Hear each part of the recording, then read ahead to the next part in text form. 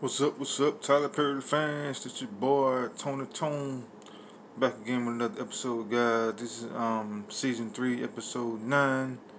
Glove up, you know what I mean? We're gonna jump right into this episode. It starts off, you guys, with uh, leaving off with um Alien Allen at the apartment, and um, where he's pretty much ready, got the bat ready to hit her and do anything they need to do to her. And it starts off with um Ellie gets up out the bed and pretty much going to the bathroom while um, Alan's standing with the bat. Then eventually he put the bat down. And then he get a phone call from um, Victoria pretty much saying, why you do it yet? Why you do it yet? And he like, how you know? How you know? I, don't worry about it. I can watch you. I see what you know what you're doing.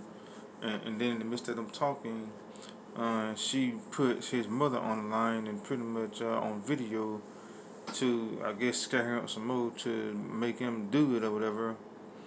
But eventually he don't do it because Ellie come out the bathroom like, what you doing? What you doing? You need to go ahead and leave and everything. And then she eventually flipped the script, made him flip the script and say, I'm still in love. He like, who you in love with? What you talking about? So I'm in love with you. He like, what? Are you serious? You know? And he all coming up close to her and trying to console her. And she like, you were right, you were right. The person that tried to use me for this and that and stuff like that. Even, yeah, he did fail for it because he was still in love with her. But after all that, guys, guess what happened? Pop! She got shot. So Ellie's no longer in the picture. And then the cops coming on. And Jason and uh, Alan looking like,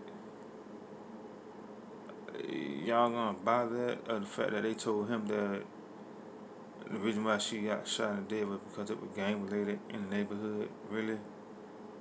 So they bought that, yeah, because they working for um, Victoria and everything. So they gave him a line. He like, don't even sound right. but moving on, people. Moving on.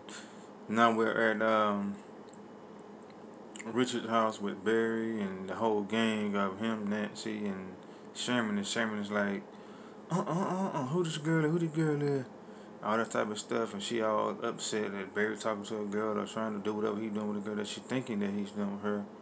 And first of all, how you gonna get mad at Barry for doing something with another girl and you been with Kareem this whole time after the fact that this man done been squad doing his, well, missing his daughter. Anyway, Richard and Nancy come outside and tell them, everybody get in the, get in the house. Kareem, why you get in the house?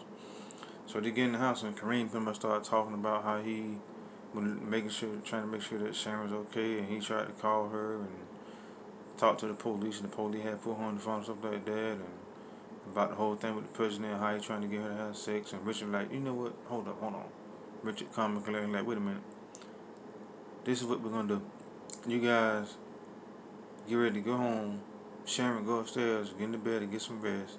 Because you guys may be bugged, so we're not gonna talk about this no more. We're gonna just lay low and do what we gotta do. So everybody just go home, do your number thing, and and don't say nothing about what, what's going on now. You know. And then um pretty much after that, uh Dale goes home, not Dale, but um Kareem go go home and talk to Dale, and um, pretty much telling Dale that you know that he can go back to work because Dale want to go back to work because he's not gonna just sit around and lay around. And like, sure, gonna do that? Go back to work? I'm like, yeah. So he said, y'all go to work, but let me, can I work in the back? He said, you work in the back, but I'm gonna be working in the front. And then we go back to Sharon and um, Barry in their room, and um, they get into a little bit about, you know, while he was messing with the girl, and then he like, come on, let me hold you. She like, I ain't trying to do all that. You still smell like girl. And uh, other thing is that they start talking about. Sharon started telling Barry about how um, the girls from the record she kept coming to the um, pharmacy and all that type of stuff, and that the money was this and that. He like, wait a minute, what's up with the money? And he went to look in the drawer, like, is more money or something, you know? And uh, they was trying to get that part figured out, and um, keeping it moving, keeping it moving. We also have um at the White House we have um Jason and the um Secret Service guy still watching over them because they got twenty four hours on Jason. And the guys pretty much telling Jason, hey man, get up, get yourself situated for a dress, whatever you got to do for us in the morning and all that type of stuff.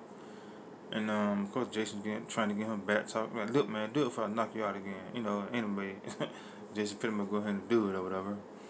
And then we have um, Sam and um, Kyle because J- Sam is um, pretty much trying to check out some footage of what happened of thing that's been going on. And he's trying to tell Kyle that, hey, we got surveillance on Jason for 24 hours, so just let you know about that, to be aware if you get called up again to do that, you need to go do that. I'm like, um, don't already know, don't, don't worry about Donna, you already know about him. Like, okay. So Kyle called Donna and let him know that Sam was up doing stuff or watching footage and stuff. And he like, that's fine, no problem, whatever. I need you to come to where I'm at so we can go take care of this stuff with Lily and try to find out who this guy was that was walking around um, the um, White House, pushing it was Bobby. They're just trying to find nobody yet. So him and um him and uh, Kyle go to the house and confront Lily, and um, Lily and Donald get into like, "What you doing here? What you want?" And um, they like, "Where, where he at? Where he at?" And then like, "I don't know what you're talking about." So Donald tell her, "Look, you don't tell me I'm to take you out." And then she like, "You ain't gonna do nothing. You ain't gonna do nothing." So she go try to get her gun, and uh, the gun's not there because Donald took it.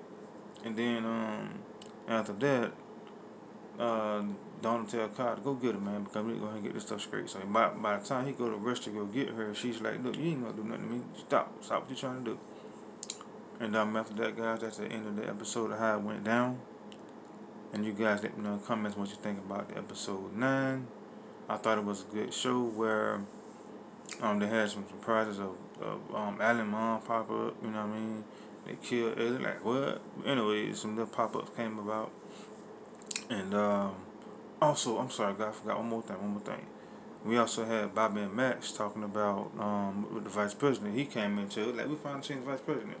Anyway, he came into it talking about he gonna do a press release about everything and all that type of stuff. And uh, Bobby looking like he can feel like he don't know if they're gonna work or not. Be like, man, you know what? I'm just go along with what you guys say.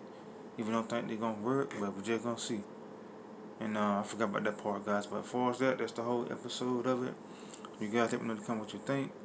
For you new subscribers that are coming along, thank you guys for watching. Thank you guys for joining my channel. Again, thank you all for new subscribers. Subscribe, subscribe. And give me some thumbs up. Um, don't forget to hit the notification bell. And this is your boy Toni Tone signing out. Peace. God bless you.